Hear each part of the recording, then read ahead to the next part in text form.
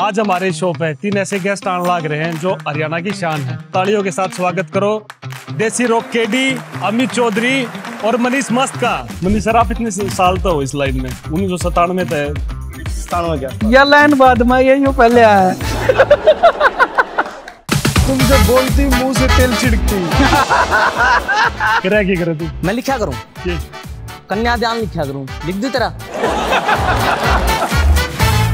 देखो हर शनिवार एक नया एपिसोड, सिर्फ़ स्टेज ऐप पे। एक करोड़ हरियाणवियों की पसंद, डाउनलोड करें स्टेज ऐप।